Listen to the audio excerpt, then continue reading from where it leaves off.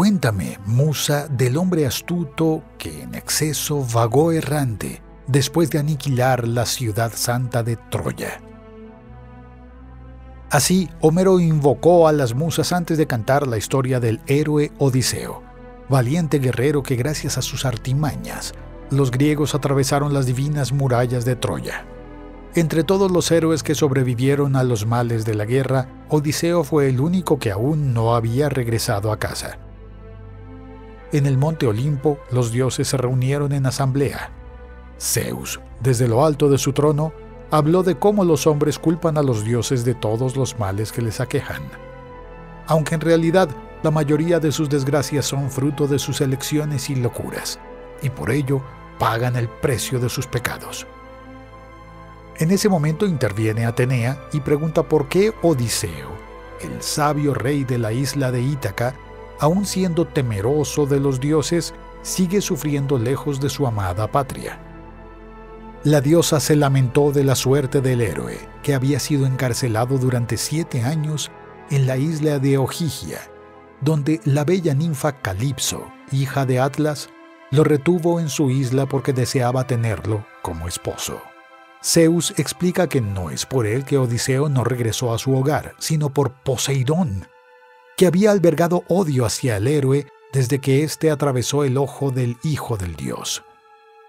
Pero en ese momento Poseidón se encontraba en la lejana Etiopía, donde se le rendían honores y por tanto no participó en la asamblea. Con la aprobación del Consejo de los Dioses, Zeus proclama el derecho de Odiseo a regresar a su hogar. La hija predilecta de Zeus se alegra y dice que irá a Ítaca a conocer a Telémaco, hijo de Odiseo. Zeus ordena a Hermes, el dios mensajero, que vaya a la isla de Ojigia y ordene a Calipso que libere a Odiseo.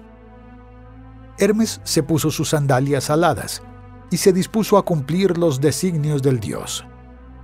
La isla de Ojigia estaba en el ombligo del mar y era un lugar donde la vegetación crecía exuberante y la brisa soplaba suavemente. Pero las fuertes olas golpeaban su costa. Allí, Calipso intentó por todos los medios convencer a Odiseo de que se quedara con ella, llegando incluso a ofrecerle la inmortalidad.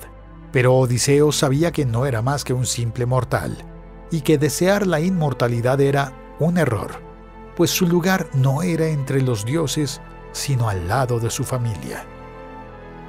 Hermes llega a la cueva donde vivía Calipso, y allí es recibido por la ninfa con toda reverencia el mensajero divino informa a Calipso que, a instancias de Zeus, debe liberar a Odiseo y proporcionarle los medios necesarios para su viaje. La ninfa se enfurece y se queja de la envidia de los dioses olímpicos, que no están satisfechos con la felicidad de las deidades menores cuando se involucran con los mortales. Pero Calipso sabía que no podía hacer nada contra la voluntad de Zeus, y a veces su corazón se rompía cuando Odiseo lloraba y suspiraba de añoranza. Tras entregar el mensaje, Hermes se marchó y Calipso, entristecida, fue al encuentro de Odiseo. Como siempre, Odiseo estaba junto al mar, pensando en su amada Penélope. Calipso le dijo que dejara de llorar, porque por fin volvería a casa. Odiseo, sorprendido e incrédulo, volvió a mirar con recelo y le dijo a la ninfa que quería quedarse si era su voluntad. La ninfa se ríe del astuto Odiseo que, aunque desea volver a casa más que nada en la vida, sabe que no debe enfadar a una deidad. Ella le dijo que no se preocupara, pues decía la verdad. Su tiempo en la isla de Ojigia estaba llegando a su fin. Calipso guía a Odiseo donde encontrar los materiales necesarios para construir una balsa, además de explicarle el diseño de la embarcación para que resista las ondas del mar. Odiseo hizo todo lo que se le ordenó, y por fin estuvo listo el transporte que le ayudaría a llegar a su casa. La ninfa le dio a Odiseo provisiones para su viaje, y le dijo que si supiera los peligros que aún le esperaban, preferiría quedarse. Pero el rey de Ítaca no quiso desperdiciar esta oportunidad. Odiseo y Calipso se separaron, y con la ayuda de los vientos favorables traídos por Calipso, Odiseo partió hacia su destino. En su precaria embarcación, Odiseo se enfrentó al gran mar que separaba Europa de África. Estaba decidido a volver a los brazos de su amada esposa Penélope y a reencontrarse con su joven hijo Telémaco. En la isla de Ítaca, el reino del intrépido héroe estaba en juego, pues habían pasado 20 años desde que el rey partiera a la guerra de Troya, y casi todos creían que Odiseo habría perecido en sus aventuras. El palacio de Odiseo estaba repleto de pretendientes que deseaban casarse con la reina Penélope y asumir el trono vacante. La reina ya no era joven, pero aún conservaba una belleza increíble, y el joven Telémaco, que era solo un bebé cuando su padre se fue, se había convertido en un hombre.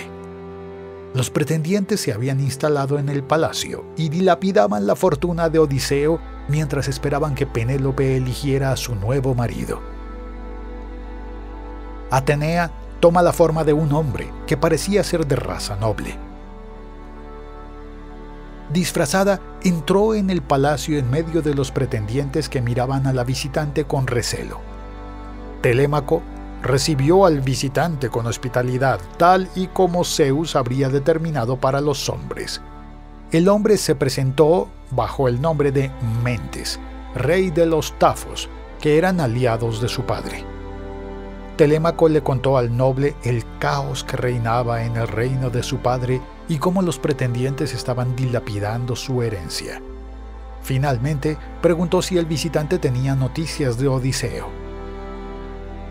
Mentes dijo que no podía decir la ubicación exacta de Odiseo, pero que ciertamente estaba vivo y estaba haciendo todo lo posible para volver a casa. El noble animó a Telémaco a ir en busca de pistas sobre el paradero de su padre, pues ahora era un hombre y ya había llegado el momento de tomar las riendas de su destino. El corazón de Telémaco se vio invadido por un gran valor. Mentes tomó la forma de un pájaro y partió.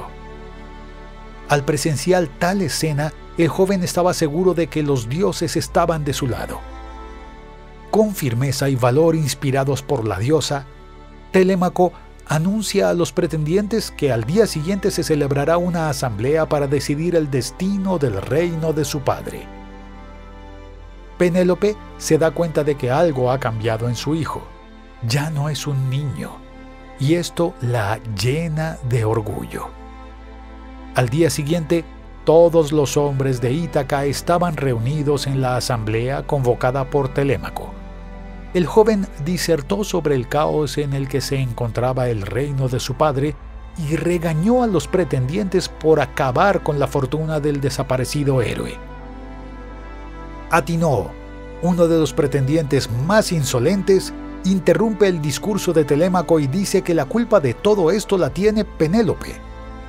Penélope había prometido a sus pretendientes que en cuanto terminara el sudario que estaba haciendo para Laertes, el padre de Odiseo, elegiría a su nuevo marido. Durante el día tejió el sudario de su suegro, pero al anochecer deshacía el trabajo realizado por la mañana y así durante casi cuatro años engañó a los pretendientes hasta que se descubrió su truco. Los pretendientes dicen que en el palacio de Odiseo se celebrará un banquete tras otro hasta que Penélope decida quién será su nuevo marido, aunque le cueste toda la herencia de Telémaco. Telémaco amenazó a los rivales advirtiéndoles que debido a esta afrenta a la hospitalidad, Zeus traería la ruina a los pretendientes. Fue cuando dos águilas iniciaron una lucha en los cielos. Tal presagio solo podía significar algo importante. El adivino, Aliterces, interpretó el presagio y dijo a los pretendientes que el rey regresaba y que el destino de los que se opusieran a él sería terrible. Eurimaecus otro de los pretendientes más destacados, no hizo caso a las palabras del anciano y afirmó que en cuanto terminara aquella asamblea, volverían a deleitarse con las posesiones de Odiseo, pues éste ya estaba muerto. Telémaco reveló el verdadero motivo de la asamblea, pues necesitaba ayuda para conseguir un barco, hombres y provisiones para un viaje a la isla de Pilos y a Esparta, donde buscaría pistas sobre el paradero de su padre entre sus hermanos de armas que lucharon con él en Troya. Si no lo consiguiera, haría que su madre eligiera un pretendiente. Nadie expresó su apoyo al empeño de Telémaco, por lo que Mentor, el hombre al que Odiseo encargó el cuidado de su familia, regañó al pueblo de Ítaca por mostrar tanta ingratitud hacia la familia del rey que siempre había sido tan amable y generoso con ellos. La asamblea se disolvió sin que Telémaco lograra su objetivo. En la orilla del mar, Telémaco rezó a la diosa Atenea en busca de ayuda. Ella no tardaría en responderle. Atenea tomó la forma de mentora y aseguró al joven que le proporcionaría los medios necesarios para su viaje, ya que veía que en el príncipe no faltaba el valor de su padre. Obedeciendo la guía de mentor, Telémaco pidió la ayuda de la vieja doncella Euriclea para reunir provisiones para el viaje. Mientras tanto, la diosa indujo un profundo sueño en los pretendientes, para que de esta manera Telémaco pudiera escapar escondido.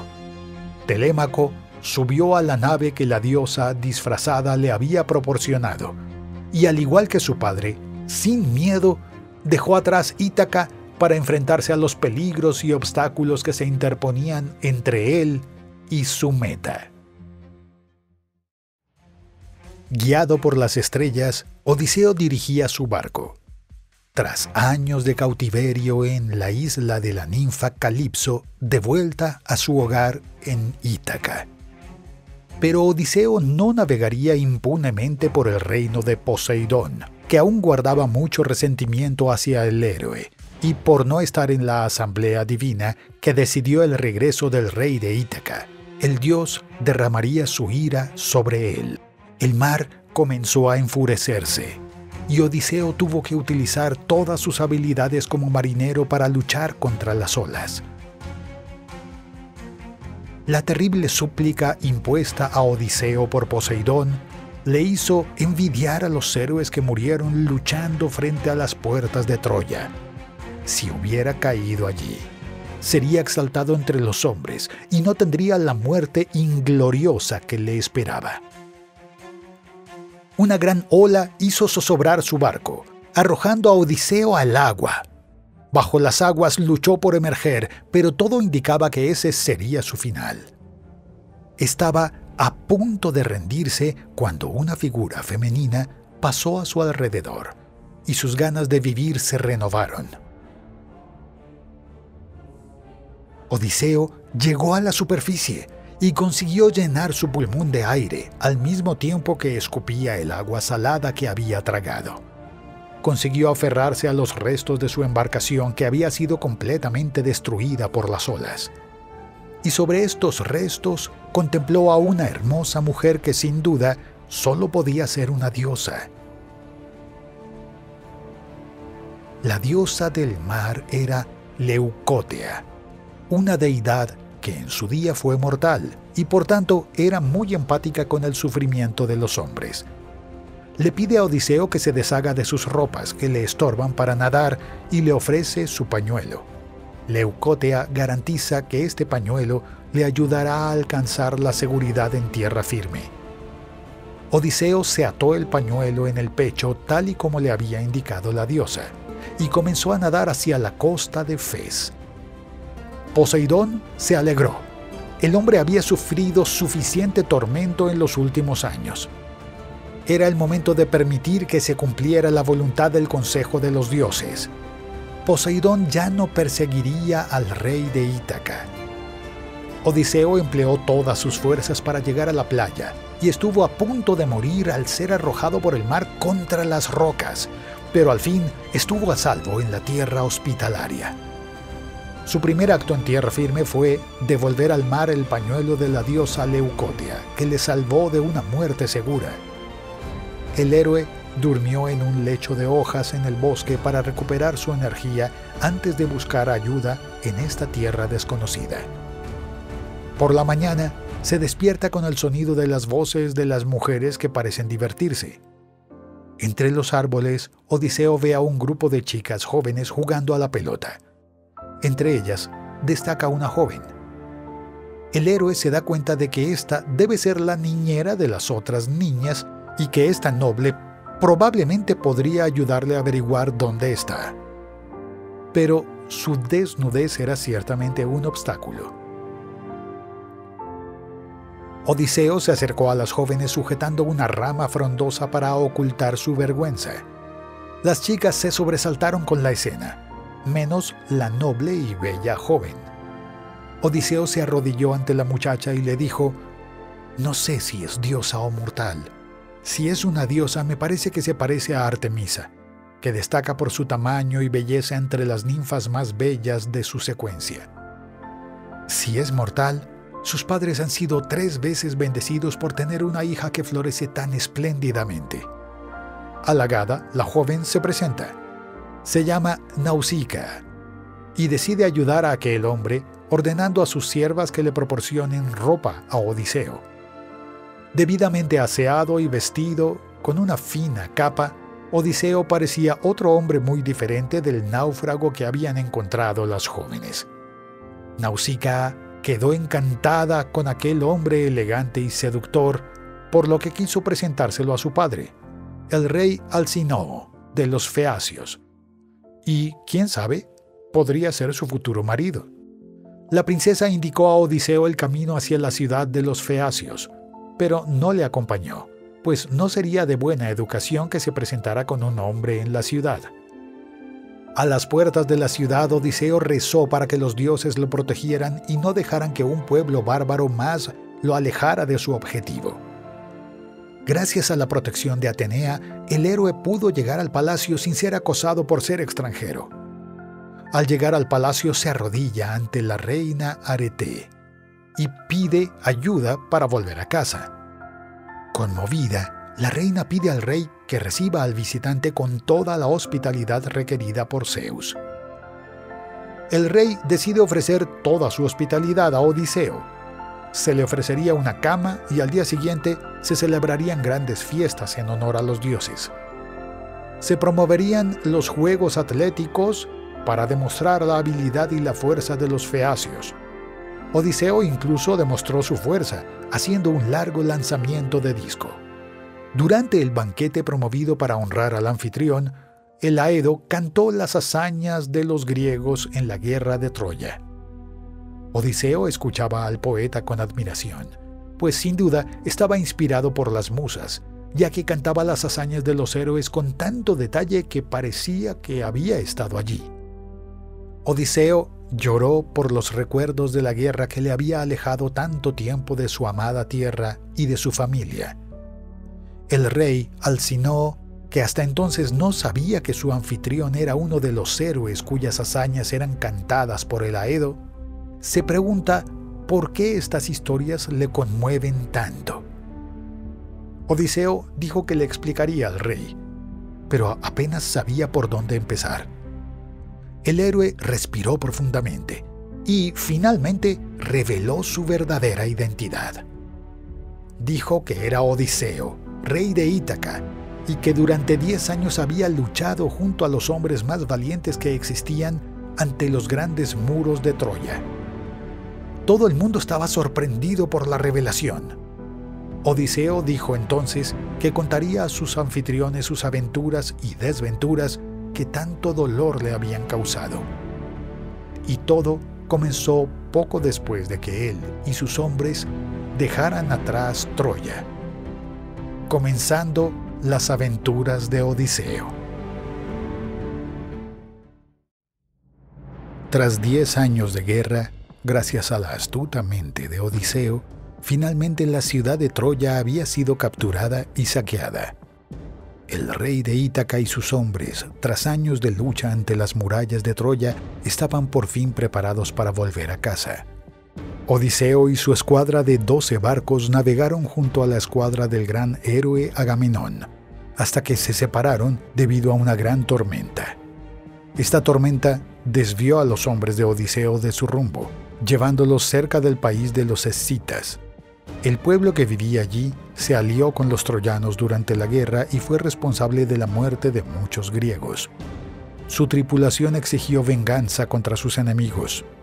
En un ataque sorpresa, Odiseo y sus hombres saquearon la ciudad de Ismaro, matando a los guerreros que se resistieron y haciendo esclavos a los que no huyeron.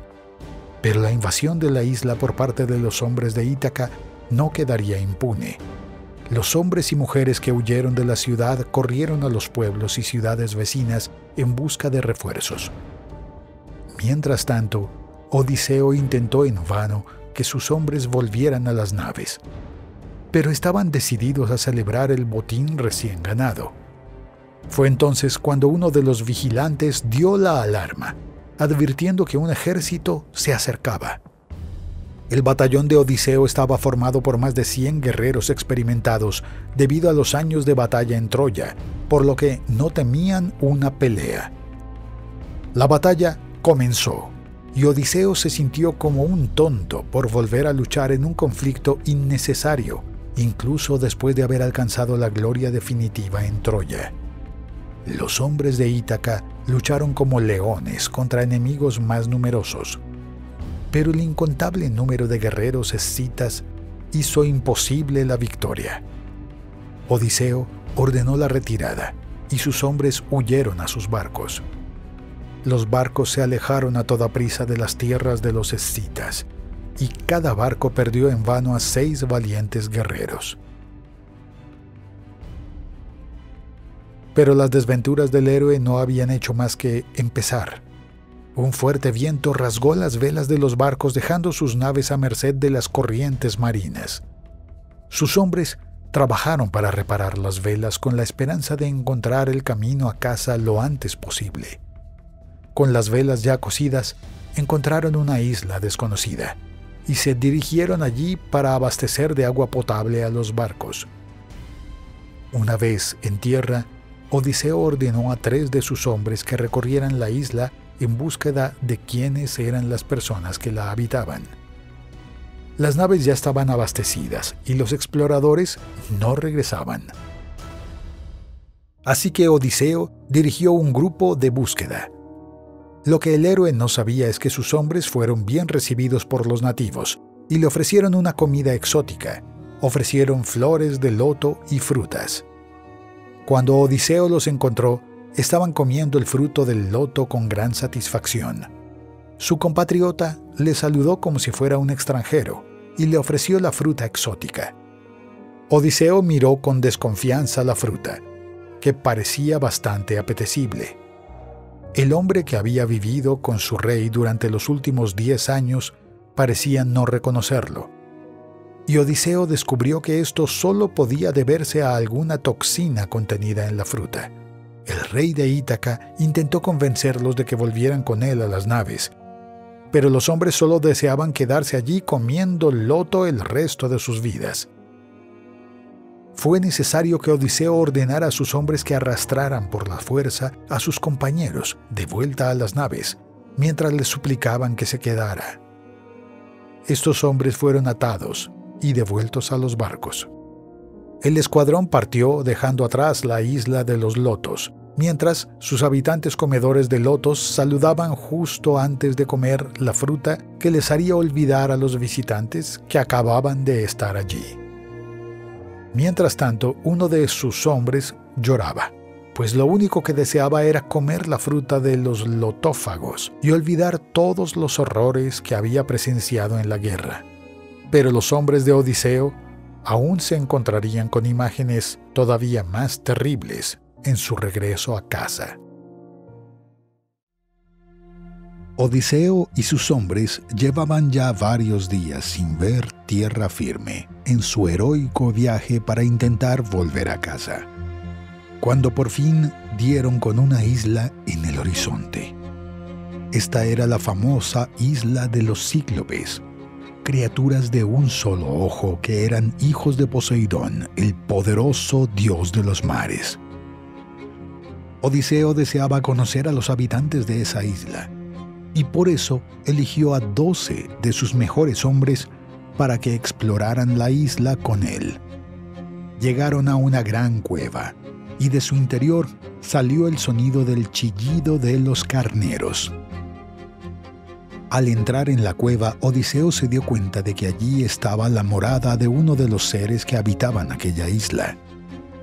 En el interior de la cueva había un recinto en el que se encontraban algunas ovejas, ánforas llenas de leche de cabra y cuencos con queso fresco, hecho con las camas de los animales. Odiseo probó parte del queso y pudo robarlo pero decidió esperar al cabrero y negociar con él. Pero el héroe se arrepentiría de esta decisión. El enorme cíclope apareció frente a la cueva, trayendo consigo parte de su rebaño que había sacado a pastar. Odiseo y sus hombres se escondieron, temiendo por sus vidas. Pero los escondites de los marineros fueron revelados cuando los cíclopes encendieron un fuego en el centro de la cueva. Odiseo salió de su escondite y se presentó al monstruo, diciendo quién era y que estaba allí exigiendo hospitalidad. El cíclope dijo que su nombre era Polifemo, el más glorioso de todos los de su raza, y que no debía ninguna hospitalidad a los seres inferiores, porque no reconocía las leyes de los hombres.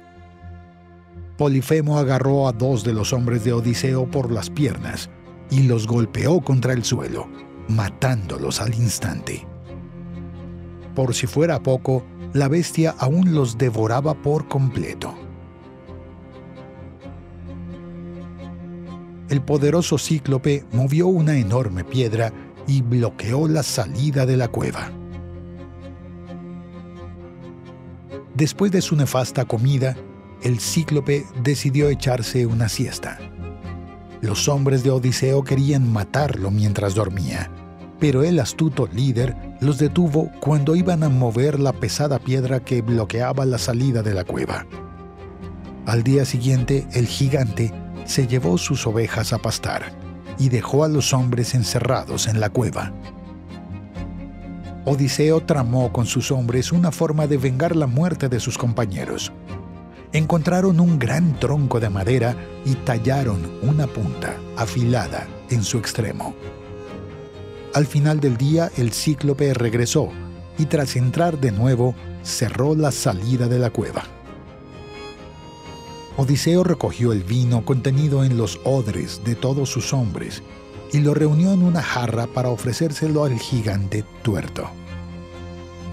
Polifemo bebió con satisfacción el vino fuerte ofrecido por Odiseo y disfrutó de la ofrenda.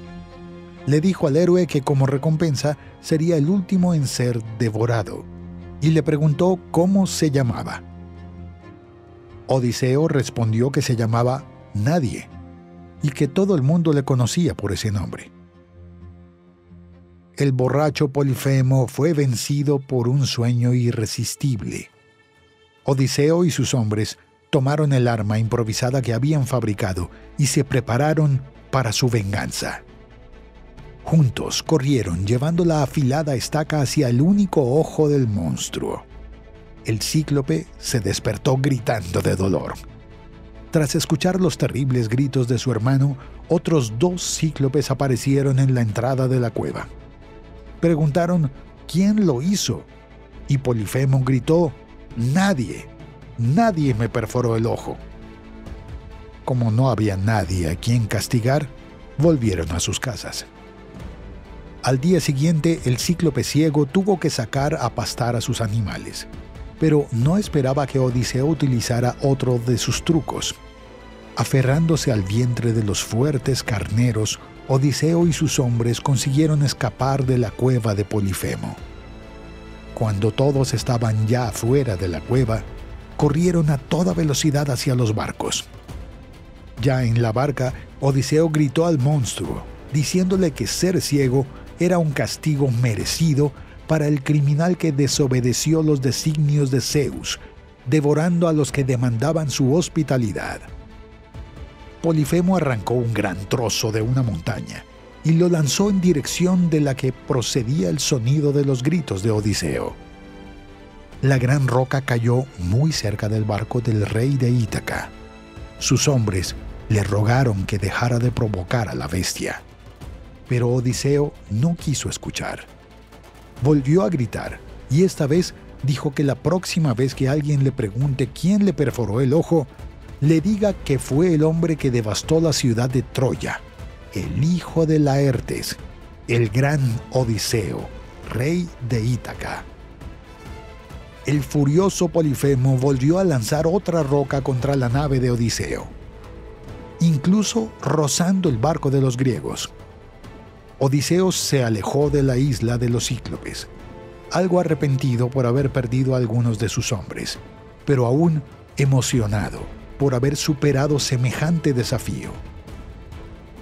Polifemo rezó a su Padre Divino y le rogó a Poseidón que castigara al hombre que perforó el ojo de su hijo.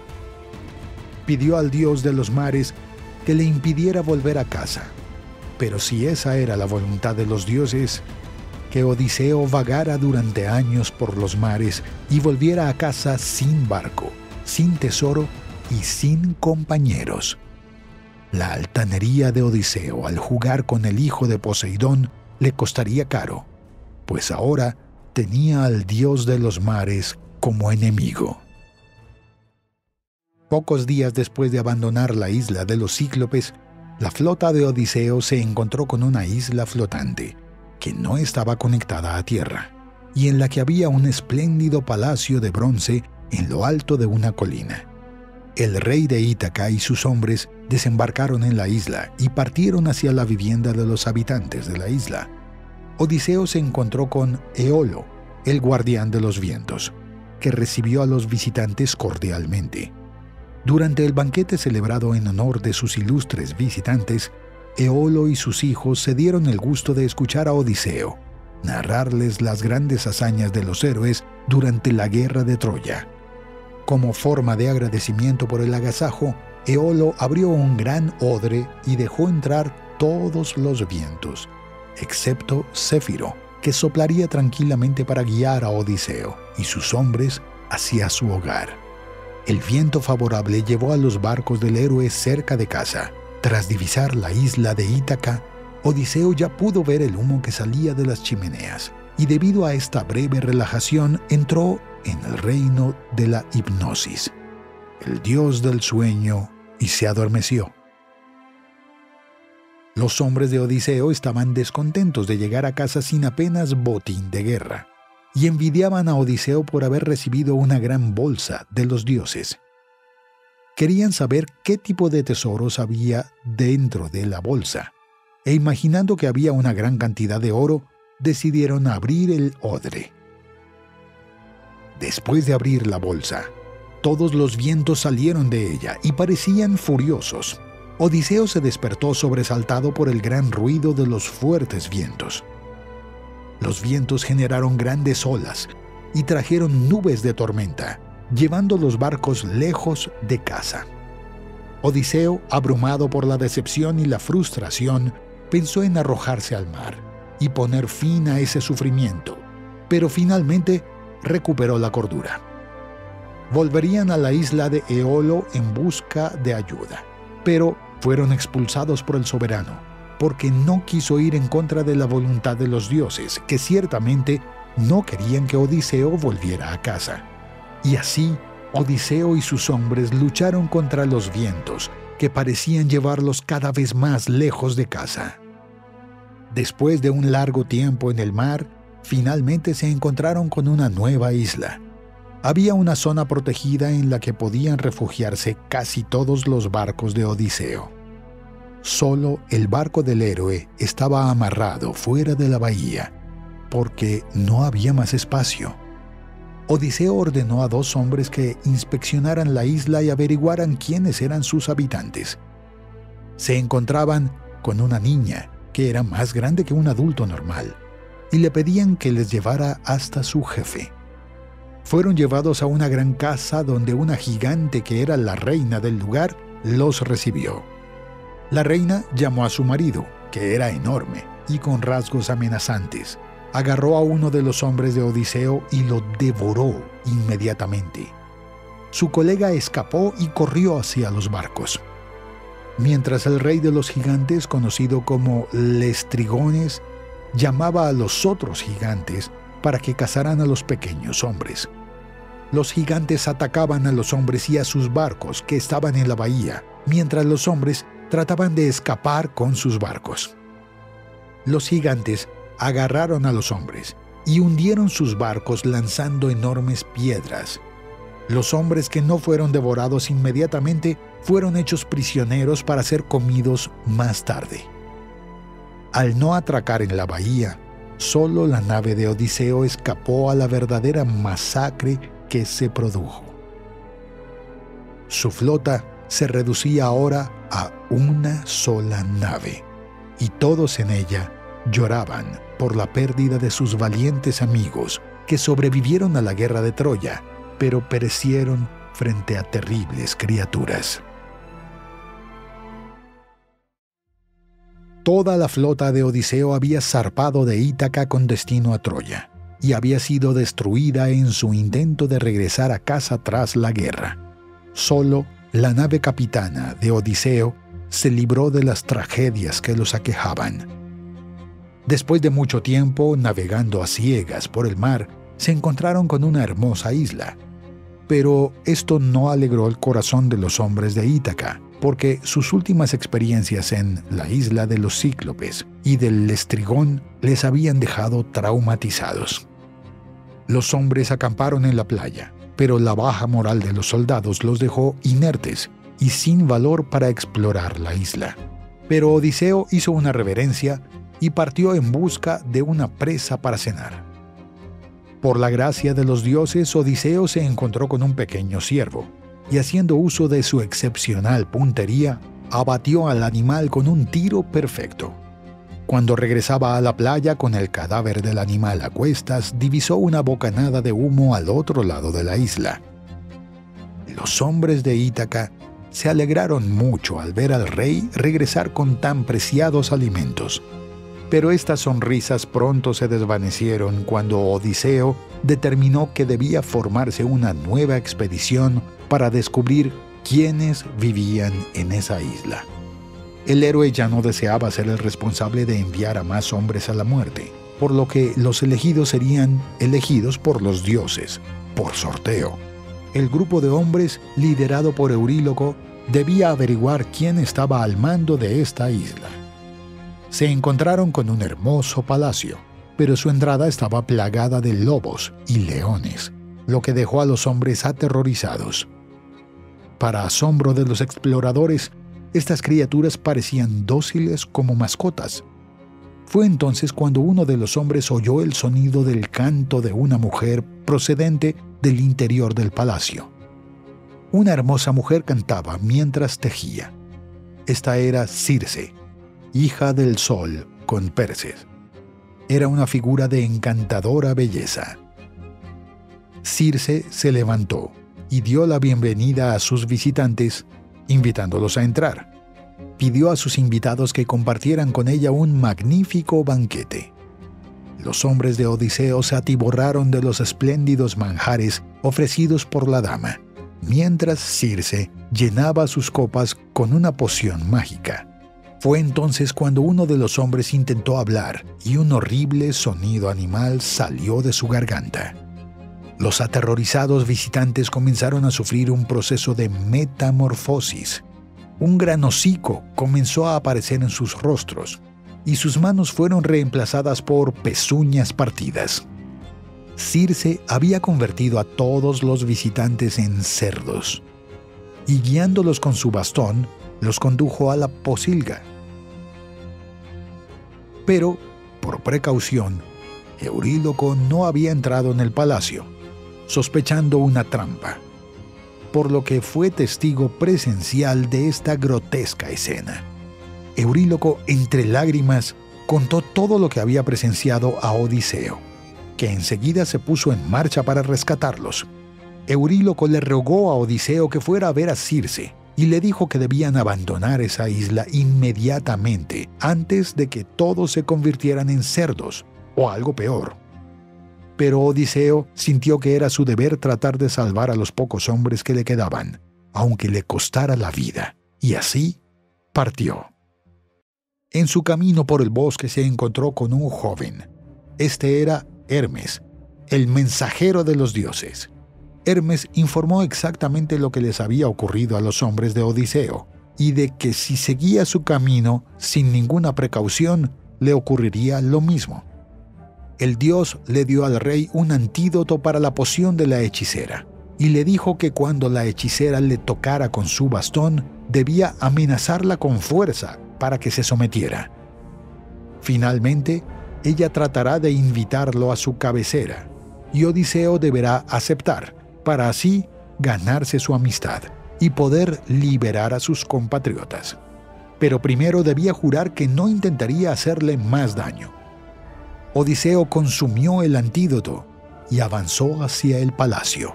Circe se alegró de la llegada de otro visitante y le dio la bienvenida amablemente.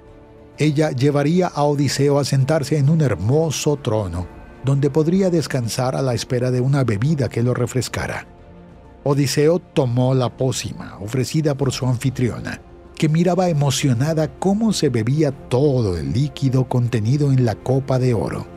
Fue entonces cuando Cersei tocó al héroe con su bastón y le ordenó que se dirigiera a la posilga, porque allí estaba el lugar de los cerdos. Pero Odiseo era inmune a sus encantos, por lo que guardó su bastón y amenazó a Circe con su espada. Con una mirada seductora, la dama pidió a Odiseo que le perdonara la vida y le invitó a compartir su cama. Odiseo dijo que aceptaría la invitación siempre y cuando ella jurara no perjudicar su vida ni hacerle ningún daño.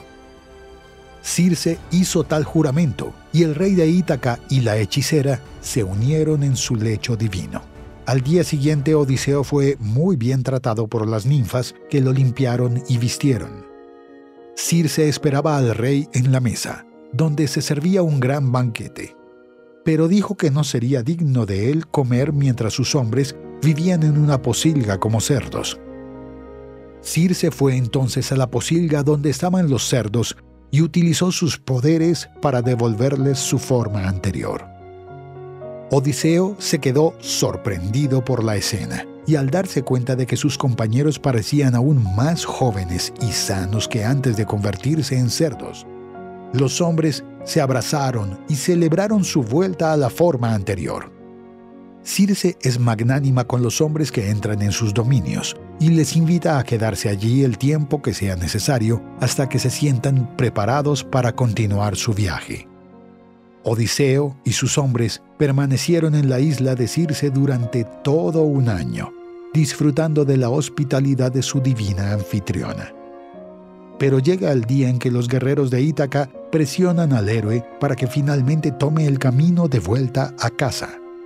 Odiseo le dice a Circe que desea marcharse, y ella le responde que no desea retenerlo allí en contra de su voluntad.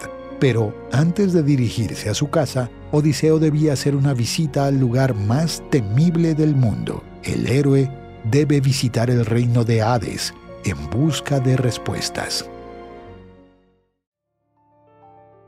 Odiseo y sus hombres pasaron su última noche en la isla de Circe, antes de partir hacia un destino aterrador debían ir al terrorífico reino del Hades para encontrarse con el espíritu del adivino Tiresias y así averiguar si era posible volver a casa.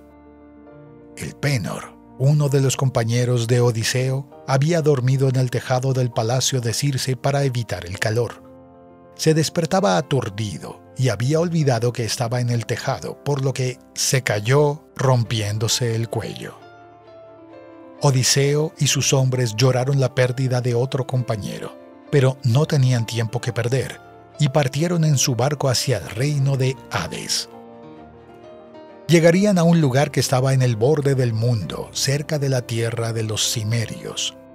Aquel lugar estaba envuelto por una espesa niebla. Allí desembarcarían llevando los animales ofrecidos por Circe para ser sacrificados. Tras llegar al lugar exacto indicado por la hechicera, Odiseo sacrificaría dos corderos y su sangre se depositaría dentro de una tumba. Odiseo y sus hombres se vieron asediados por espíritus que deseaban beber la sangre del interior de la tumba. Pero Odiseo recibió instrucciones de ahuyentarlos hasta que surgiera Tirerias. Para sorpresa de todos, entre los espíritus estaba el Penor, el compañero que acababan de perder. Todavía no había sido enterrado, por lo que pidió a Odiseo que le prometiera que rendiría los debidos honores funerarios. El rey de Ítaca le aseguró que lo haría. Entonces apareció el espíritu de la madre de Odiseo. Ella aún vivía cuando el héroe partió a la guerra de Troya y la visión de su madre en ese lugar rompió el corazón del rey de Ítaca y sus ojos se llenaron de lágrimas. Entonces llegó el viejo Tireto, que fue un gran sabio en vida. Pedía beber de la sangre de la tumba hecha por Odiseo. Saciaría su sed con la sangre de los animales, y con los labios aún manchados de sangre, Tiresias dijo que Odiseo aún encontraría muchos obstáculos para volver a casa pues Poseidón aún albergaba odio hacia el héroe por haber herido a su hijo, el cíclope Polifemo. El adivino dijo que incluso entonces Odiseo conseguiría volver a casa, pero que si sus hombres no respetaban a las bestias del dios Helios, el rey llegaría a casa solo en un barco extranjero, pues todos sus compañeros habrían perecido en el camino. Tiresias se fue después de hacer varias otras revelaciones al héroe, entonces la tumba de Odiseo estaba rodeada de almas que querían beber la sangre que había allí. A Odiseo le sorprendería encontrar en ese lugar a Agamenón, el gran líder de los griegos durante la guerra de Troya. Había sido asesinado por su mujer tras volver a casa de la guerra.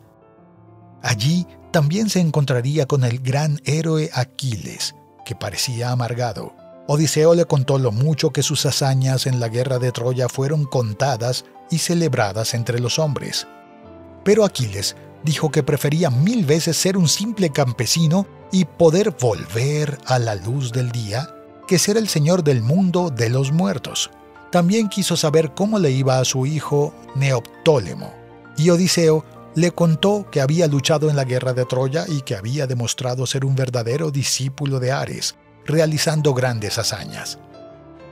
Aparecerían muchos otros de sus hermanos de batalla como Patroclo, Ajax, entre otros. Pero la misión de Odiseo en aquel lugar estaba cumplida, por lo que él y sus hombres regresaron a la nave y volverían a la isla de Circe para cumplir la promesa hecha a El Penor. Allí colocarían el cuerpo de su amigo en una pira, y así el espíritu del Penor podría por fin descansar en paz. Durante el banquete de despedida ofrecido por la hechicera, ésta susurraba al oído de Odiseo los terribles peligros a los que aún se enfrentaría. El héroe y sus hombres aún se enfrentarían a lo más peligroso que el reino de Poseidón podía ofrecer.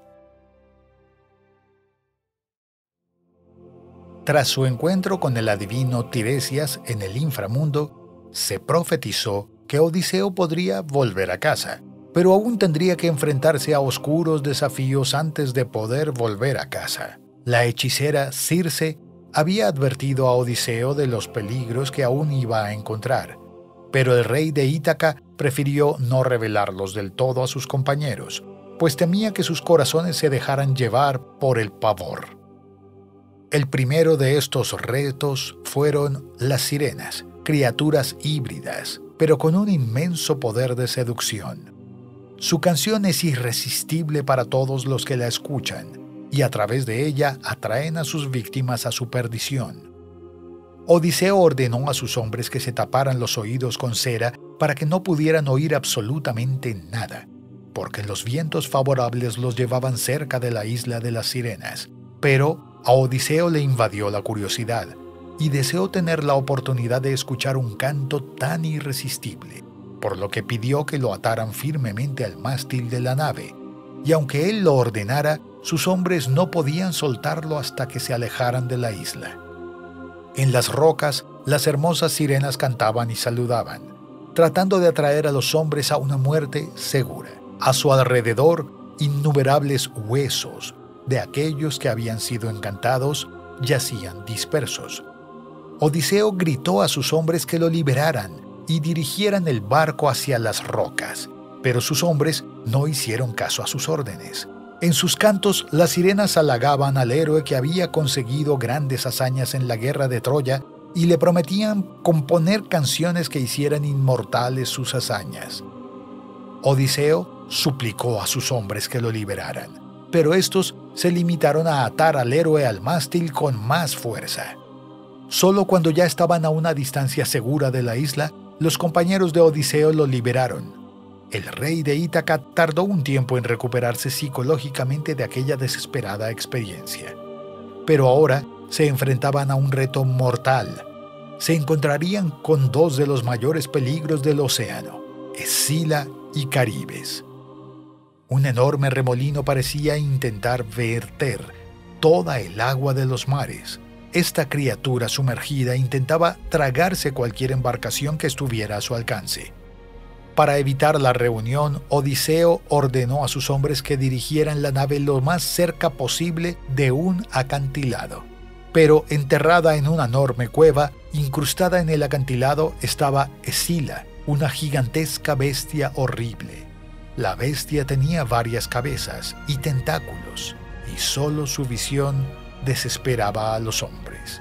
La criatura arrancó a los hombres de la cubierta del barco y los destrozó fue el espíritu de supervivencia el que mantuvo a los hombres remando con fuerza, evitando ser arrastrados por los caribes y alejándose de Escila.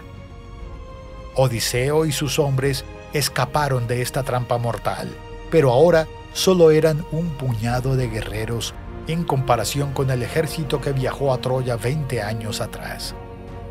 Delante de ellos estaba la isla de Trinatia, la que iba a ser la última escala de Odiseo antes de poder regresar finalmente a casa.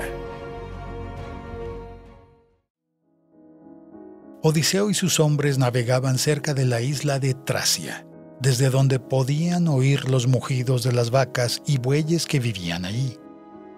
Los compañeros de Odiseo deseaban repostar y descansar, pero el rey de Ítaca fue advertido por Circe de que aquella isla podía traer la ruina total a sus hombres. Intentó convencerlos de que se alejaran de la isla.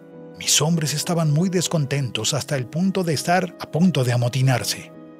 Odiseo accedió a llevarlos allí, siempre que prometieran no tocar el ganado de esa isla, que era propiedad del dios Helios. Estuvieron de acuerdo y se dirigieron a la playa. Poco después de haber protegido el barco en una cueva, para protegerlo de los vientos, una tormenta se abatió sobre la isla. Odiseo dijo a sus hombres que debían consumir solo las provisiones ofrecidas por la hechicera Circe y dejar a los animales de Helios en paz. El mal tiempo y los vientos desfavorables hicieron que Odiseo quedara varado en esa isla durante meses y que las provisiones estuvieran a punto de agotarse. Odiseo dijo que los hombres debían intentar pescar y recoger cualquier fruto y raíz silvestre que pudieran encontrar, pero que se mantuvieran alejados de los bueyes del dios del sol. En una de sus cacerías, el héroe llegó a la cima de una colina y sintiéndose cerca de los dioses, les pidió ayuda. Sintió como si los dioses le hubieran mandado un suave sueño y allí mismo se echó una siesta. Es entonces cuando se despertaba con el inconfundible aroma de la carne asada. Cerca, sus hombres asaban la carne de un ternero, mientras sacrificaban los mejores animales para aplacar la ira de los dioses, porque preferían arriesgarse a la venganza divina antes que a la prueba de morir de hambre. Odiseo se siente angustiado al ver la escena que tanto había temido. La venganza de los dioses no se demoraría. En el cielo, el sol se quejó de los hombres que profanaban su ganado sagrado y dijo que iría al Hades para iluminar a los muertos y la tierra, y los cielos ya no verían su luz. Zeus pide a Helios que no deje de iluminar el mundo, pues él mismo acabaría con la vida de los responsables de tal crimen. Los vientos adversos cesaron, y Odiseo y sus hombres partieron, dejando atrás la isla de Tracia. Pero los relámpagos en el cielo indicaban el mal humor de Zeus. Un potente rayo destruye el mástil del barco, que cae sobre el timonel. Un rayo más golpearía la nave destruyéndola por completo.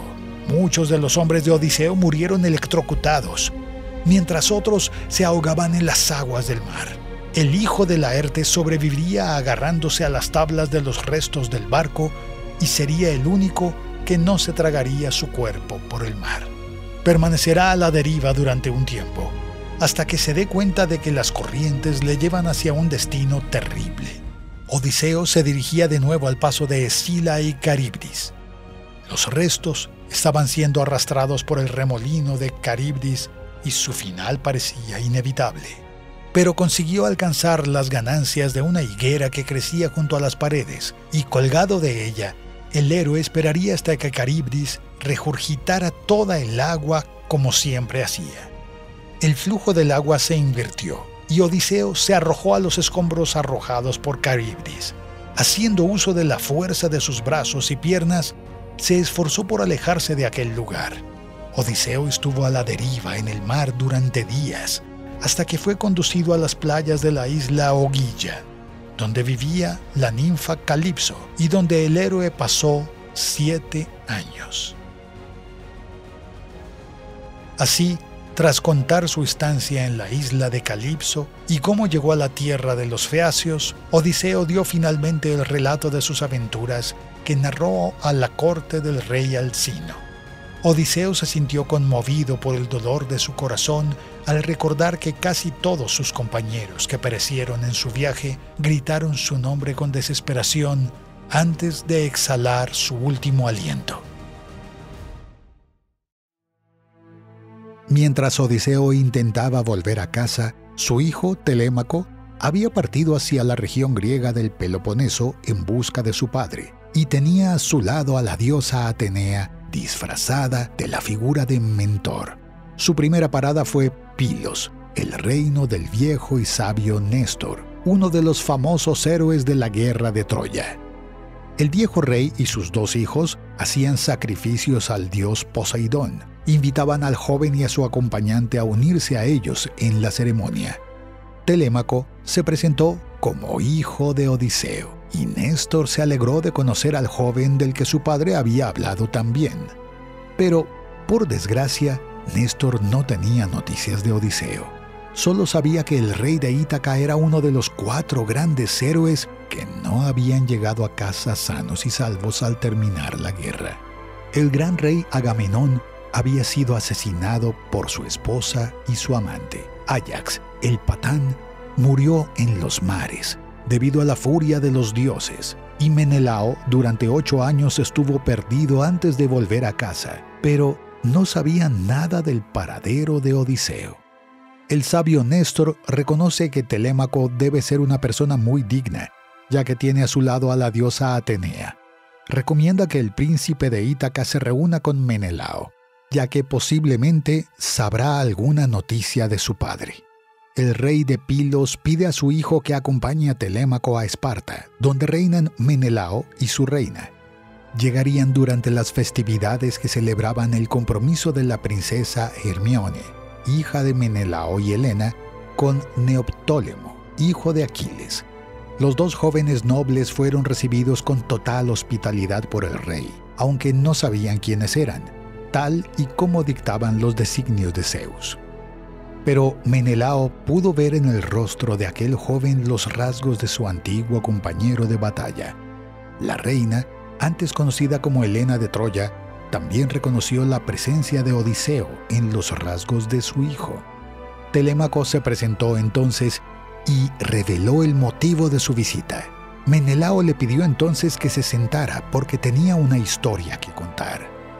Menelao contó que su salida de Troya fue difícil, ya que los griegos habían enfadado a los dioses, por lo que, al igual que Odiseo, estuvo mucho tiempo perdido en el mar, hasta que sus barcos llegaron a la costa egipcia, pero allí le invadió la depresión hasta que fue visto por una deidad del mar que se apiadó de él. La Nereida Idotea le dijo a Menelao lo que tenía que hacer para volver a casa.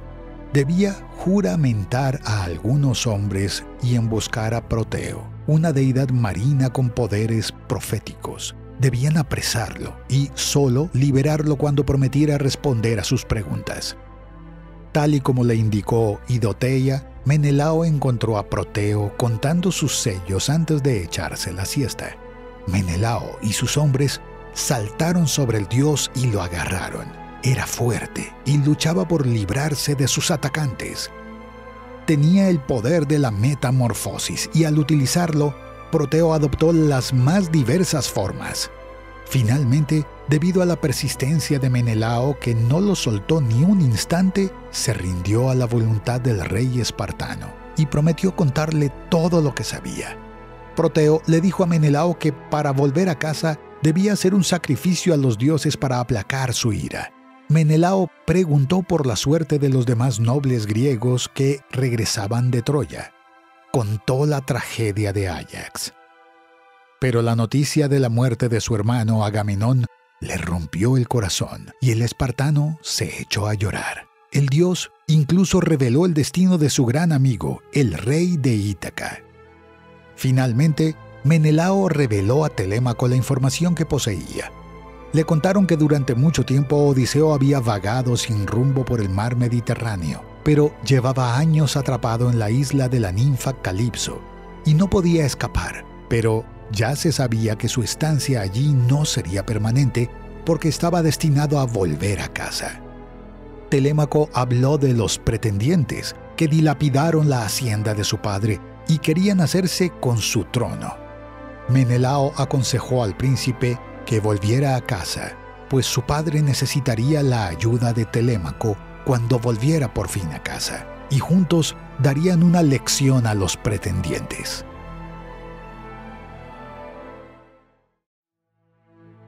Odiseo había dejado atrás la tierra de los feacios. El rey Alcino dispuso que uno de sus barcos llevara al héroe de vuelta a Ítaca.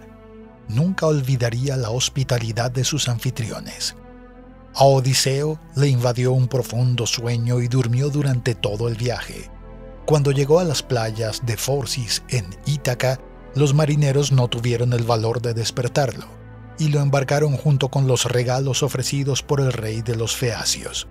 Cuando Poseidón vio que su enemigo había conseguido finalmente llegar a su tierra natal, se puso furioso, y los marineros que transportaron al héroe pagarían un alto precio por deshonrar al dios de los mares.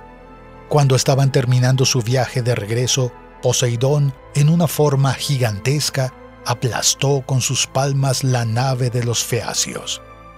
Cuando sus manos se separaron, solo había una gran roca frente al puerto de Fez. Se habían convertido en una roca, y desde ese día los feacios no volvieron a prestar ayuda a los náufragos. En Esparta, Atenea advirtió a Telémaco de que era hora de volver a casa y de que los pretendientes planeaban tenderle una emboscada a su regreso. Por lo tanto, debe zarpar de noche y no dirigirse al puerto, sino a la casa de Eumeo, el hombre que lo crió en ausencia de Odiseo. Por fin Odiseo se despertó y no tenía ni idea de dónde estaba. Temía encontrarse de nuevo en una tierra extranjera, desconocida y llena de peligros. Fue entonces cuando apareció un joven pastor, y Odiseo preguntó de qué lugar se trataba. Y el joven dijo que estaba en Ítaca. El astuto Odiseo, para disfrazar su identidad, inventó una historia llena de detalles que le dieran una nueva biografía, mientras el joven escuchaba su historia con una sonrisa en la cara. Fue entonces cuando el joven tomó la forma de la diosa Atenea, que dijo que su historia era de una astucia sin parangón y que por poco engañaría incluso a la diosa de la sabiduría. La diosa dice que Odiseo debe buscar al leal Eumeo y ponerse al día sobre la situación de su reino, pero primero necesita un disfraz. La diosa hizo que Odiseo adoptara la forma de un viejo mendigo. Y se dirigió hacia la casa de Eumeu, el criador de cerdos. Eumeu fue respetuoso con el deber de hospitalidad y recibió al mendigo con toda la hospitalidad. Le contó cómo los pretendientes dilapidaron la fortuna de Odiseo y quisieron matar a Telémaco y desposar a la reina Penélope. Fue entonces cuando se oyeron pasos acercándose a la casa de Eumeo. Odiseo se dio cuenta de que el perro no daba ninguna alarma y que, por lo tanto, debía ser alguien conocido. Fue entonces cuando el joven Telémaco entró por la puerta y fue saludado alegremente por el criador de cerdos, que dijo el nombre del príncipe. Odiseo se quedó boquiabierto, y sus ojos se abrieron de par en par al ver a su hijo adulto, pues habían pasado más de 20 años desde la última vez que lo vio. Telémaco le dijo al criador de cerdos que debía ir al palacio para contarle en secreto su regreso. Solo cuando el porquero se marchó, apareció la figura de la diosa Atenea detrás de Telémaco, pero solo Odiseo y los perros pudieron verla. Le dijo a Odiseo que había llegado el momento de revelarse. Atenea hizo que Odiseo retomara su forma original ante el asombro de Telémaco, que creía que ese hombre solo podía ser un dios. Odiseo dice que no es un dios y que en realidad era su padre que llevaba mucho tiempo desaparecido. Padre e hijo se abrazaron y muchas lágrimas brotaron de los ojos de Telémaco y Odiseo. Odiseo preguntó entonces quiénes y cuántos eran los pretendientes que intentaban usurpar sus derechos. El joven dijo que había docenas y que la victoria sobre ellos sería casi imposible. Odiseo le dijo a su hijo que no contará a nadie el regreso de su padre ni siquiera a Eumeo y su madre, y que no temiera nada, pues Zeus y su hija diletante estaban a su lado y los llevarían a la victoria. Odiseo, de nuevo bajo la forma de un viejo mendigo, se dirigió al palacio para mendigar entre los pretendientes y así saber quiénes son y qué planean sus enemigos. Odiseo se dirigía al palacio real de Ítaca con el jinete a caballo Eumeo. Pero antes de llegar al palacio tendría un reencuentro inesperado. Tumbado en el suelo estaba el viejo Argos, el perro de Odiseo, al que había dedicado mucho cariño y tiempo para transformarlo en un excelente perro de pastoreo y caza cuando el animal era todavía un cachorro. El perro, al ver acercarse al mendigo, levantó las orejas y movió la cola. Incluso 20 años después, el animal reconoció inmediatamente a su dueño y habría corrido hacia él si no hubiera estado tan débil. Odiseo preguntó a Eumeo por qué el animal estaba tan maltratado. El criador de cerdos le contestó que el perro era imbatible en el pastoreo y la caza, pero que, al igual que el reino de Ítaca, había pasado por años de abandono y por tanto nada recordaba sus días de gloria. Odiseo se arrodilló y dejó caer una lágrima de sus ojos al reencontrarse con su viejo y leal amigo. Después de 20 años esperando el regreso de Odiseo, Argos puso fin a su vigilia y pudo descansar en otro plano, pues su amo había vuelto para ocuparse de lo que era suyo. Odiseo entró en el palacio y decenas de pretendientes estaban comiendo y bebiendo a costa de la hacienda del rey de Ítaca. El héroe rogó entre los pretendientes para identificar quiénes de ellos eran buenos o malos. Pero Antinoo, el más destacado de los pretendientes, quería echar al mendigo del palacio. Odiseo replicó diciendo que comía y bebía a costa de otro hombre y se negaba a compartir incluso un poco. Indignado por la insolencia del visitante, Antinoo arrojó un asiento de madera al mendigo. A pesar del fuerte impacto, Odiseo fue fuerte y absorbió el impacto sin mostrar ninguna reacción. Los otros pretendientes dijeron a Antinoo que eso no estaba bien, pues a veces los dioses se disfrazan para poner a prueba la hospitalidad de los hombres y que la venganza de los dioses podría ser terrible. Odiseo se sentó en el suelo para comer los restos de comida dejados por los pretendientes, cuando entró en el palacio Iro, un conocido mendigo local. Era corpulento y agresivo, y se enfadó al ver que otro mendigo ocupaba su lugar. Avanzó contra Odiseo y le dijo que se fuera, porque no era su lugar allí. Odiseo le dijo que no se pasara porque a pesar de su edad aún podía darle una paliza, y que ambos podrían estar en paz en el palacio. Los pretendientes se divertían con las riñas entre mendigos y los animaban a pelearse entre ellos. Antinoo dice entonces que solo el que derrote al otro en combate tendría derecho a mendigar en el palacio, mientras que el otro tendría que marcharse. Sin alternativa, Odiseo tendría que luchar. Iro era fuerte, pero se sorprendió al ver los músculos de Odiseo cuando éste se quitó la capa. El fornido mendigo se lanzó sobre Odiseo, que con un solo golpe en el cuello de Iro lo dejó inconsciente. La victoria de Odiseo fue celebrada por los pretendientes que se alegraron del momento de diversión a costa de los mendigos. El rey disfrazado fue recibido por uno de los varios pretendientes, dándose cuenta a Odiseo de que no era una mala persona, y le advirtió que abandonara el palacio y así escaparía de la ira de Odiseo. Pero el joven no quiso escuchar. Fue entonces cuando apareció la reina Penélope, que gracias a la diosa Atenea que la bañó con ambrosía, quedó hermosa. Odiseo se alegró de volver a ver a su esposa 20 años después. Aunque ya no tenía sus rasgos juveniles, seguía conservando una gran belleza. Pero la impresionante belleza de Penélope también despertó el deseo de los pretendientes. Antinoo dijo que la paciencia de los pretendientes estaba agotando y que al día siguiente debería elegir a su nuevo marido. Odiseo habla con Telémaco y le pide que retire de la sala principal todas las armas que están expuestas en las paredes, para que puedan proceder con su plan de venganza.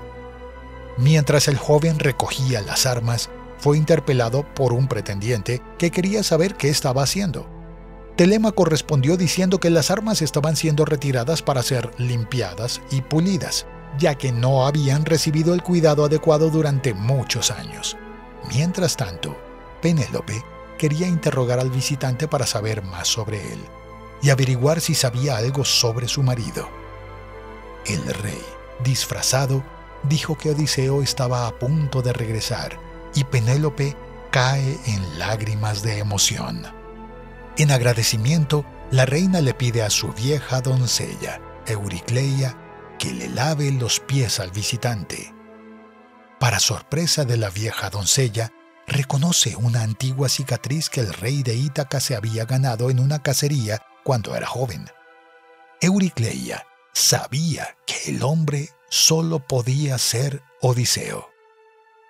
Odiseo contuvo a la doncella para que no se descubriera. Le prometió al rey que guardaría el secreto incluso a la reina.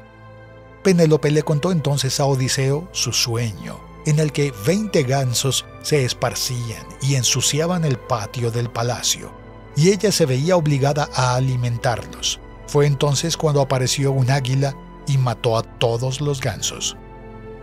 El mendigo le dijo que su empeño no podía ser más claro. Odiseo ha vuelto y derramará su terrible venganza contra los pretendientes. Pero la tristeza se apoderó del corazón de Penélope pues con la llegada de la diosa del amanecer también llegaría el momento de elegir por fin una pareja entre los pretendientes. Había llegado el día en el que Penélope debía finalmente elegir a su nuevo marido entre los pretendientes. Ya se habían encontrado una vez más arruinando la hacienda de Odiseo, al darse un festín con sus bienes. Inspirada por la diosa Atenea, Penélope salió llevando el arco de Odiseo. Ella presentaba a los pretendientes el reto que debía superar el que se convirtiera en su nuevo marido. Deben ser capaces de doblar el arco de Odiseo y lanzar una flecha que debe pasar por el agujero de 12 hachas alineadas. Telemaco pide ser el primero en intentarlo, ya que si consigue tal hazaña, su pretensión al trono quedaría aún más legitimada. Sin embargo, el joven trató tres veces de doblar el arco de Odiseo, pero no tuvo éxito. Pero a la cuarta vez, cuando estaba a punto de conseguirlo, Telémaco miró a su padre y comprendió el mensaje que había detrás de su mirada, por lo que desistió diciendo que no era capaz de tal hazaña. Los pretendientes empezaron a intentar armar el arco de Odiseo, pero uno tras otro fracasaron en tal tarea. Mientras tanto, Odiseo reveló su identidad, mostrando su cicatriz al criador de cerdos Eumeo y a su criado, Fileto, que siempre había sido muy leal al rey. Los dos sujetos estaban muy emocionados por volver a ver a Odiseo. Les pidió que dijeran a las doncellas y a su reino que se encerraran en sus habitaciones y que todas las puertas del palacio estuvieran cerradas con llave. Llegó el momento en el que los dos principales pretendientes intentarían doblar el arco. Eurímaco fracasó, como todos los demás, y Antino, incluso utilizando trucos para intentar doblar el arco, también fracasó. Antino les dice entonces a los pretendientes que dejen la tarea para el día siguiente, y así poder volver a festejar a costa de Odiseo durante un día más. Pero en ese momento, Odiseo, en forma de mendigo, pidió que se le permitiera intentar doblar el arco. Los pretendientes estaban indignados por la insolencia del mendigo, ya que si lograba doblar el arco de Odiseo, todos serían humillados y su reputación sería arrojada al barro. En este punto, Telémaco se opone valientemente a los pretendientes y dice que no van a faltar al respeto de los designios de los dioses, que exigen que los anfitriones sean bien tratados y por eso tendría derecho a intentarlo. Entonces Eumeo entregó el arco al mendigo, permitiéndole así probar. Ante el asombro de todos, Odiseo consiguió doblar el arco con facilidad. El rey disfrazado respira entonces profundamente y apunta. El tiro es perfecto y pasa por los doce ejes ante la incredulidad de los pretendientes. El mendigo dice entonces que si Apolo le es favorable daría un golpe que dejaría a los pretendientes aún más sorprendidos. Odiseo disparó una flecha a Antinoo, que llevaba una copa en la boca. La flecha atravesó la copa y se alojó en el cuello del villano. El rey de Ítaca se reveló entonces a los pretendientes. En ese momento, debido a las bendiciones de Atenea, Odiseo estaba glorioso, como en sus días dorados de valentía en Troya, y su hijo Telémaco, portando lanza y escudo, estaba a su lado. Cuando Eurímaco se dio cuenta del error que había cometido, trató de negociar y garantizó que todos los bienes de Odiseo que habían sido despilfarrados serían restituidos a tiempo, y que le ofrecería oro y bronce en abundancia hasta que se aplacara su ira. Pero el legítimo rey de Ítaca replicó que todo el oro del mundo no le impediría su venganza. Eurímaco avanzó contra Odiseo, sacando una daga, pero fue abatido por una flecha lanzada por el rey. La gran batalla de Odiseo contra las decenas de pretendientes comenzó. Sus enemigos estaban desarmados porque Telémaco había escondido todas las armas que estaban a la vista. Odiseo no desperdició ninguna de las flechas de su carcaj, y como inspirado por Apolo, el arquero del arco de plata fue abatiendo a los pretendientes uno a uno. Las flechas finalmente se agotaron, pero aún quedaban decenas de enemigos en la sala. Telémaco defendió el flanco de su padre con gran valentía y ferocidad. Odiseo y Telémaco se encontraban en gran desventaja. Al notar que Odiseo empezaba a flaquear, Atenea se apresuró a animarle diciendo que recordara que en Troya se enfrentó y derrotó a un mayor número de troyanos, que aún eran superiores a los pretendientes en habilidad y valor. Inspirados por la diosa, Odiseo, Telémaco, Eumeo y su fiel sirviente Filetio lucharon contra todos los pretendientes, eliminados uno a uno, mientras la diosa los protegía de recibir cualquier golpe mortal. La victoria de Odiseo fue total. Los pretendientes estaban muertos, dejando el salón de su palacio lleno de cadáveres y convirtiendo el suelo en un lago de sangre. La vieja sirvienta, a instancias de Odiseo, llevó a la reina Penélope al reencuentro con ella, pero ésta no podía creer que fuera cierto que su marido hubiera regresado realmente. Solo un dios podía haber derrotado a tantos adversarios se quedó recogida ante su marido, al que no veía desde hacía 20 años, sin mirarle a los ojos. Odiseo, decepcionado por el frío recibimiento de la recelosa reina, exigió que le hicieran la cama porque deseaba descansar. Penélope decidió entonces ponerlo a prueba y pidió a la criada Euricleia que se llevara la cama de Odiseo a otra habitación. Odiseo, al darse cuenta de la astucia de su esposa, dijo que eso era imposible, porque él mismo había hecho esa cama para la pareja con un roble, y sería imposible moverla debido a su gran peso. Los ojos de Penélope brillaron en ese momento, ya que solo el propio Odiseo podía conocer los detalles de cómo se produjo el lecho. Penélope se lanza entonces a los brazos de su amado esposo, que durante 20 años esperó fielmente su regreso. A continuación, se dirigieron a la habitación de la pareja para recuperar el tiempo perdido.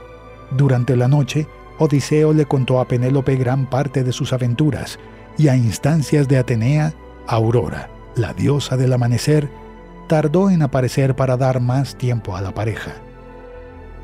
Con el amanecer de un nuevo día, Odiseo sintió que por fin estaba de vuelta donde nunca debió salir, porque su lugar en el mundo no era junto a los grandes reyes, ni siquiera junto a los dioses.